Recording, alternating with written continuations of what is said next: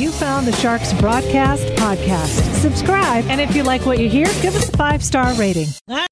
Worst concert experience ever. It's a Shark Morning Show with Sarah and A Train. I feel like um, I, I really that when I'm bringing things to the table is in my own experience, Yes. Sarah. That I'm I can't compete with what everybody else is doing. On our Facebook page, you can chime in. Uh, it's right there. We got some really bad experiences at con. We're sorry. Yeah, uh, this is the only thing that I can think of. Like I saw a Page and Plant at Boston Garden back in like 1995, and uh, my brother and I had a guy behind us screaming "Stairway to Heaven." Screaming "Stairway to Heaven" for two and a half hours. Oh, God. And uh, Did you turn m- m- around yeah, and it- just say, for the love of so- Mike? I, I gave him a look. My brother said, Could you stop screaming in my ear, please? That worked for about 90 seconds. And I Oh. can just still, still hear that guy going, Stay away.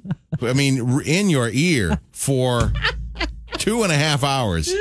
And of course, I, I was just like, I almost wonder if they're going to get annoyed enough, like we, because we were behind the stage. Yeah. The amazing tickets that we had, we were kind of like, you know, behind the drum kit and the speakers.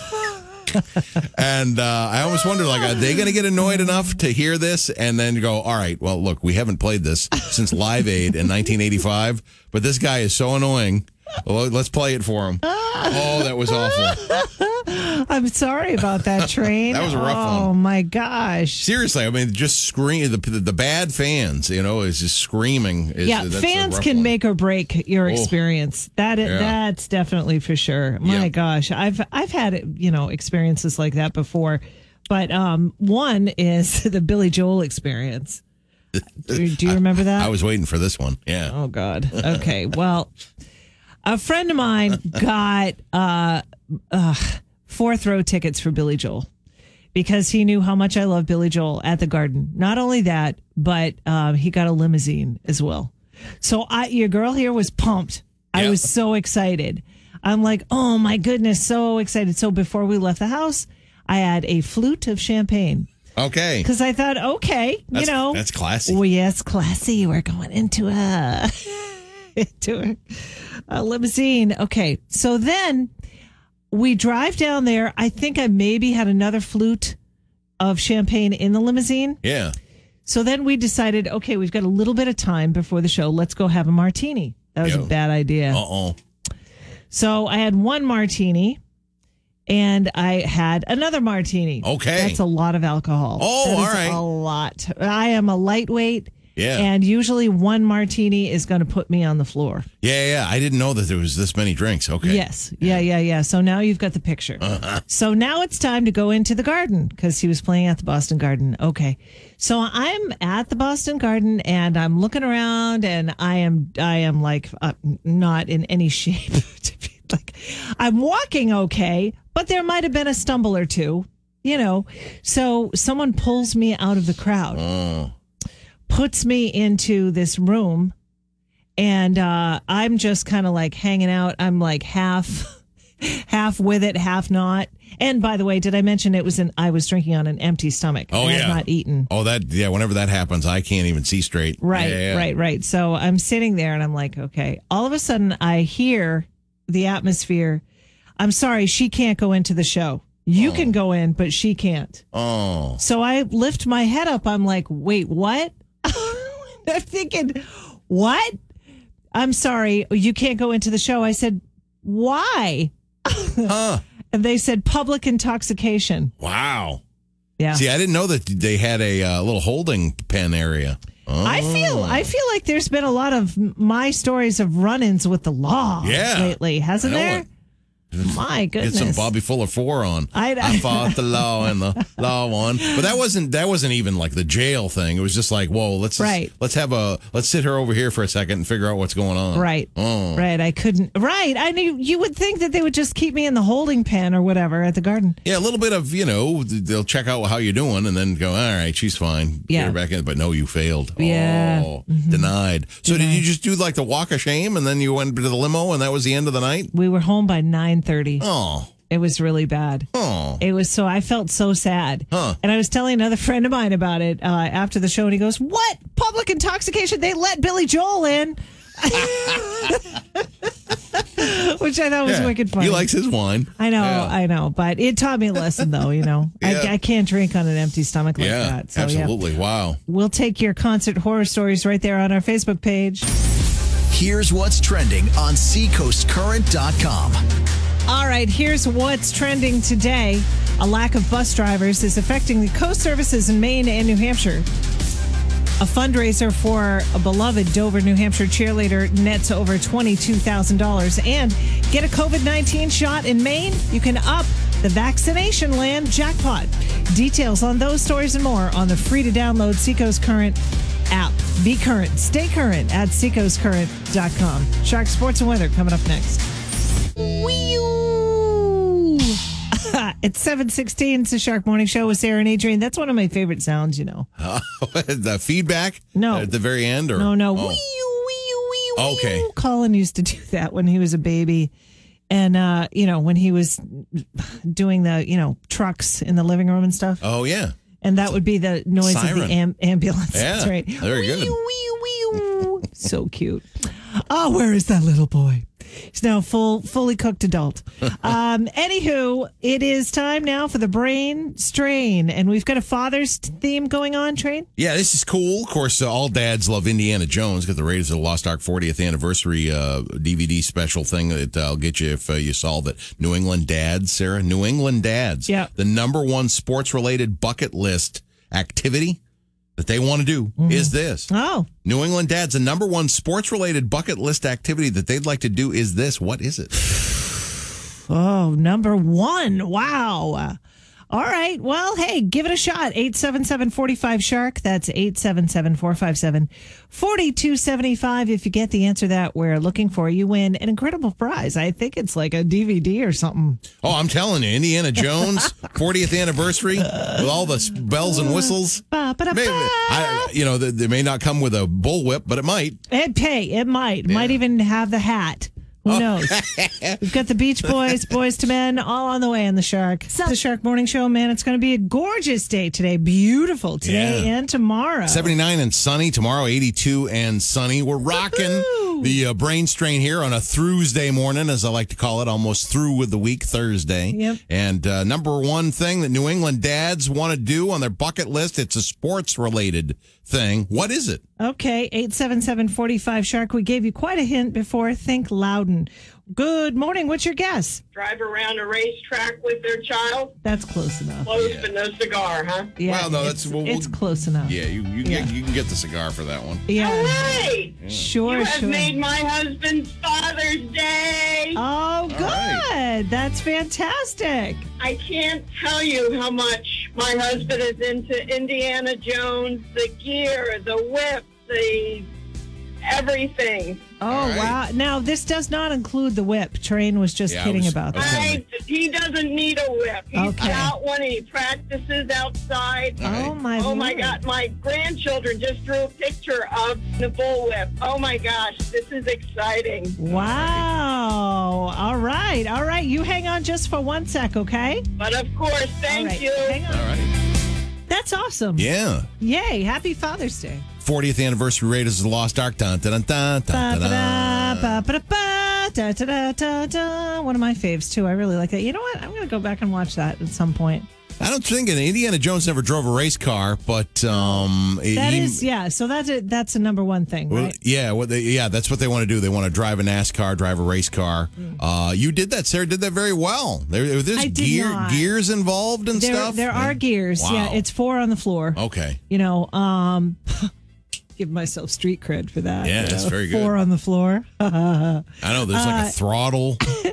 Yeah. So there you have earplugs, right? And Uh-huh. I went up to NASCAR for the a media day, and it's coming up actually. It's this month again, and all kinds of media people go, and they're able to get into the race car and go around the track a few times. yeah, no, it's it's timed. It's timed, yeah. Yeah. And there are um there are prizes, you know. So you and I went up, right? And um did you go around too? No, I I was You the first one. up. I yeah, I suited up and I went in the passenger side because I cannot be trusted behind uh, any sort of manual operated uh, vehicle. Forget it. when we went up, um, Sean McDonald from MUR won Mm. the, the media race. Yeah, they might have done that. Just I would never say this, but you know, Chronicle. They probably get the extra. Oh no, I don't think so. It was I legit? think it, it was legit. Okay. Yeah, he was. You know, he did really well. They did give me a trophy for coming in dead last Oh, uh, at the speedway. I had Danica Patrick's car. oh yeah, I remember And, that. uh, yeah, that's awesome. Yeah. So my earpiece wouldn't work. Uh oh. So they couldn't tell me to pull in. So Oh, I kept going around and around and around. All of a sudden, I see some guy in my way. I'm like, whoa. Had to put on the brake. They had like the green flags or whatever saying, No, "Come on they in." put a oh, oh. guy. Oh, okay. I'm like, wow, there's brave.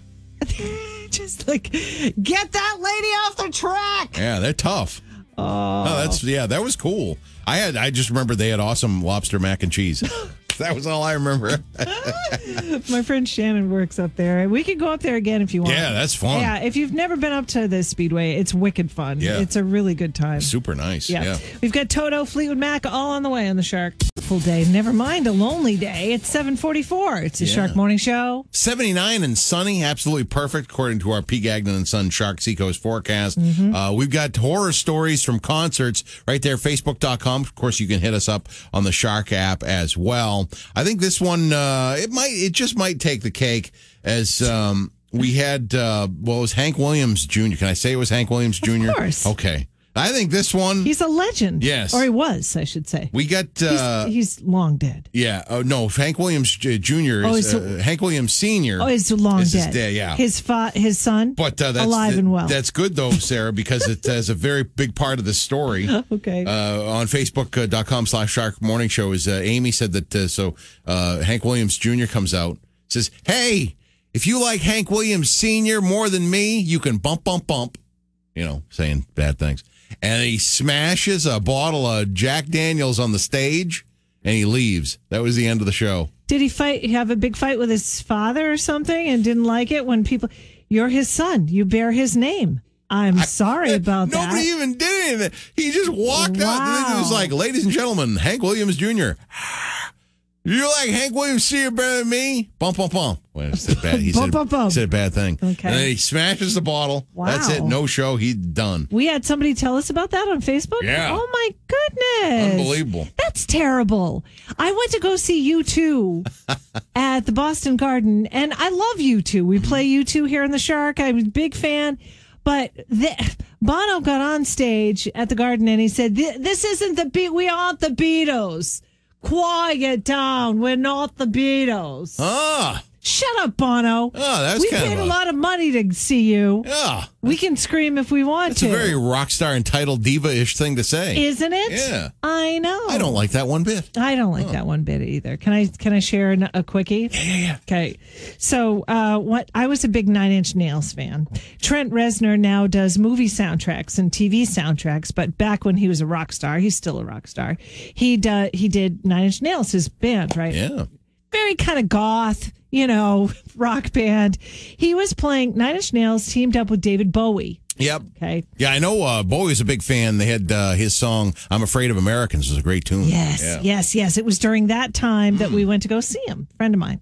So uh, this friend of mine, uh, I went down to meet her at her house, and uh, we were just about ready to go, and we're all decked out. It's it's the late '80s, early '90s, right? This probably early '90s, I would say. Uh-huh.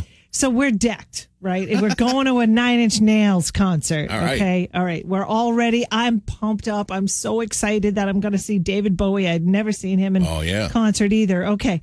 So she apparently left her keys inside the apartment, inside of her apartment. Oh, and no. Shut and lock the door. Oh, So uh, we realize it when we're outside. She's like looking for her key. She can't find her keys. I'm like, oh god. I said, it's okay. Let's just take my car. Let I got my car. Let's go. We're like, you know, late. Yeah. Okay.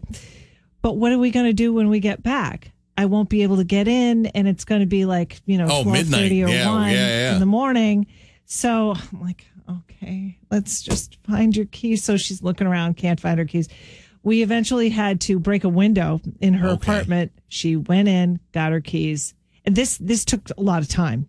And we were late as it is, right? So, okay, we finally get to the venue.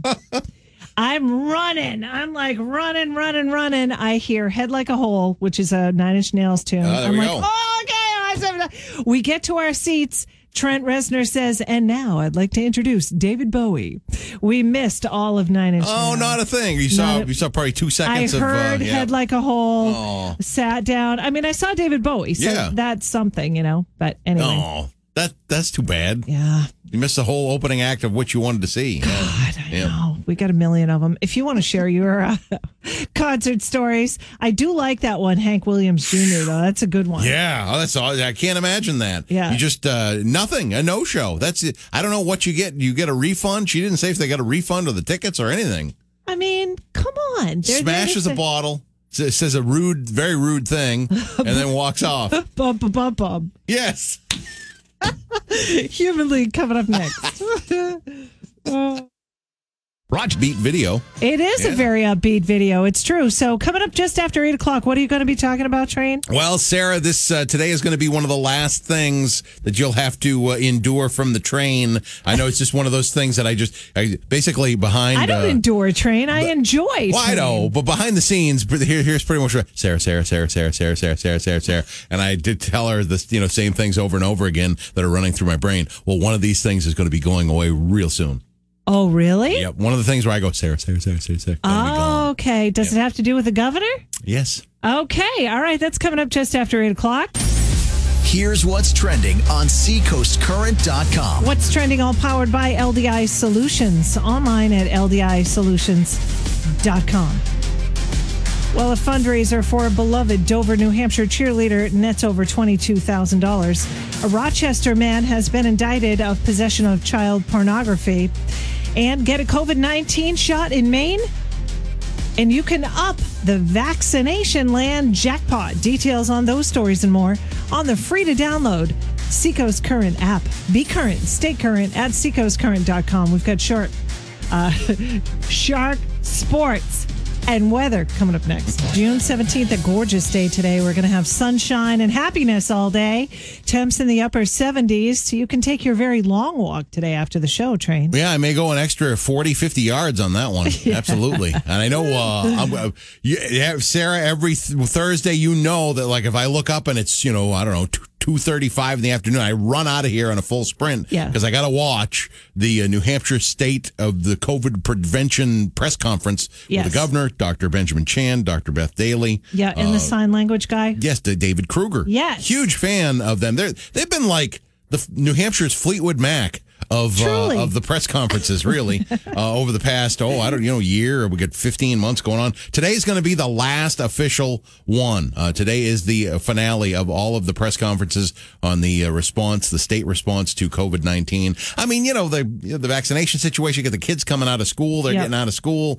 Uh, there's 268 active cases in New Hampshire. You know, it's just kind of time to shut Move it down. on, yeah. And uh, that's what they're doing. So uh, I'm, I'm still looking forward to it. It's been uh, very, you know, very calming, a calming influence to know not only you know what's going on, but what's going to happen. And uh, I've, I've just I've watched every minute that I can, Okay. and I've been filling your behind the scenes with Sarah. And then they said and Sarah and Sarah and Sarah and Sarah and Sarah, and that's going to stop. Uh, well, that's good, Train. That's good.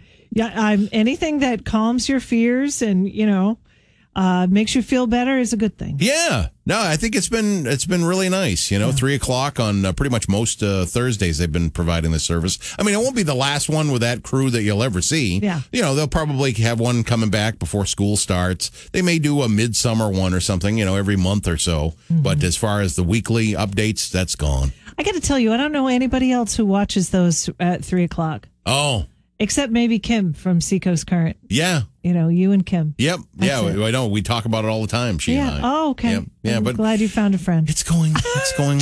going away. Yeah, have to have a- you know, going I mean, the thing is, we've got the red phone over there in the corner. we do have the bad phone. Yeah, it's going to ring any second. So uh, yeah, like Sarah, you know, don't you watch me too? No, I do not. I like you at all, but I don't watch your press conferences.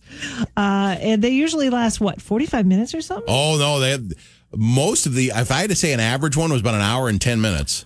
Uh, last week's was Oh, man. 52 minutes. Wow. And when they closed it down, I went, no. How that was, they only- that do was that only pro- 52 minutes. Programming wise, they've got to like fill, right? They cut into, um, yeah, it's uh, Tamron Hall's show. Oh. They, she'll start her intro, and then they'll, pew, they'll just breaking news, Cut right in? cut right into it, and then they'll go pew, right back. And usually by that time it's Ellen, but uh, it was double Tamron Hall last week. All right, we've got Who Are You coming up next on the Shark. It's time for the game that's sweeping the nation. Who are you? Who are you? Try to guess the famous celebrities in just three clues or less. Everybody put your hands together for your two hosts and your two players, Sarah and A Train. I love that intro. Oh, it's great. Uh, all right, my theme this week. This might this might be the worst one going, but I, have Sarah, if you get this one, I'm going to fall right off the chair. Okay. It's one tune June. It's uh, basically you know one hit wonders from stars of television and film. Now, usually we've been doing big stars of television and film. Uh, this guy is not a big film star at all. He's a TV star. He's not even you'd call him that necessarily because he's a soap opera star. It's not Rick Springfield either, obviously. Okay. Uh, this kind of interesting because I my nana, you know, she liked the Young and the Restless, and I remember him very well uh, performing as a singer, portraying a singer, Danny Romalotti on the Young and the Restless back in the early '80s. And sure enough, uh, he's had it's like a fledgling. Uh, singing career in the 70s and the 80s, and then in 1989, it finally happened for him uh, with a cover tune that was on uh, the the Coreys. You remember the Coreys, Corey Haim and Corey Feldman? yep. Remember uh, Dream a Little Dream? This is a, a number one hit for this guy who's been singing. He's Mr. Handsome, Mr. Handsome. He actually, on uh, The Facts of Life, played the boyfriend of uh, Jo, uh, who was Nancy McKeon. You know, Jo on, on the show. She was the Not Scott the Baio. mechanic one. No, but it's the Scott Baio type. I think once I tell you the song, you'll get it. All right. Here we go. What's the song? It was a cover of David Essex, Rock On. Hey, kid, Yeah. rock and roll. And Oh, I was boy. I was so offended at the time. It's, uh, is that his my- name Corey? No, no. uh, I was so offended at the time that my Nana's soap opera star covers David Essex and ends up getting a legit number one, a U.S. number one charts. Uh, his rendition of Rock On. Wow. Uh, no, I don't know. Okay. Um, uh, initials M D.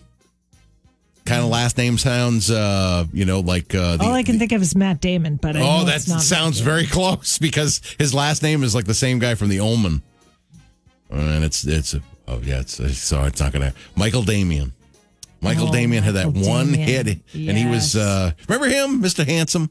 Yeah, kinda. I thought I thought maybe this would be a crummy one. Yeah, yeah. He's only fifty nine years of age. Okay. Yeah. Mm-hmm. All right. I, my apologies to Michael Damian. May you may you uh, come out of your, I apologize your to him too of obscurity. because I because I remember when I was just like, this is David Essex. And how is this number one? You I was offended? Yeah, it was 1989. I remember being, Okay. being like, "What? This is a cover of the." And he, you know, come on. All right. Well, it's this guy's birthday today.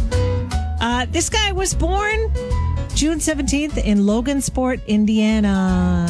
He went to the University of Arizona and he played the gay guy in As Good as It Gets. One of my favorite, Oh, favorite, favorite movies of all time. happy birthday, Greg Kinnear. Greg Kinnear, ladies and gentlemen. He's wildly popular, uh, wildly talented because he's a terrific host too. He is. He actually was the very first host of Talk Soup. Yeah, he's a great uh, Yeah. TV host. And he had a late night show later with Greg Kinnear back in 1994. Just an incredible actor. So happy birthday to Greg Kinnear. If it's your birthday today, happy birthday to you too. We've got Tears for Fears on the way next on the Shark. Favorite part of today so far, Train? well, just to start the show, we had uh, that ghost in Danville. Oh, I like that too. I Yeah. gotta say. I mean, you know, you got uh, Kingston Road in Danville. There's a woman uh, that drove by a ghostly figure that just disappeared after she drove by her. yeah. Ooh. Ooh. wee, ooh. I thought that was pretty cool. You know, it's kind of neat when it happens, you know, in our state. Yeah, well, it happens more than we think, I think. Mm. I mean, these stories come out around Halloween, but I am of the belief that uh, ghosts are everywhere. Yeah. if you want to call them that or whatever you want to say. I think they're everywhere. I don't think we have enough of a history in this building that we have ghosts in here. No, in the building that I used to work in, though, up in Maine, Oh, a guy died in one of the studios. He actually died on the air. Oh wow. If that isn't a dedication to radio, man, I don't know what is. But anyway, yeah, he actually like dropped dead huh. right there in the studio. So it was it was said that occasionally this guy would come back to you know Ah. visit the studio. Friendly guy. Okay. Okay. So he was a happy spirit. That's Seemed a good thing. very thing. nice. Yeah, You don't want yeah, those yeah. ones that throw stuff at you. No, no, they're really bad. uh, yeah. So my favorite part of today, mm, I don't know. I'm gonna say that mm, Michael Damian's probably very happy that someone has uttered his name since the year 1991. I mean, hey, he's got more number one hits than I ever had. That's true. I can't believe it was number one. hey, we've got uh, the workday kickoff coming up next. Three hours of continuous classic hits, commercial free. Michael Jackson kicks that off next on the Shark. The Shark wants you to hit the road this summer on us.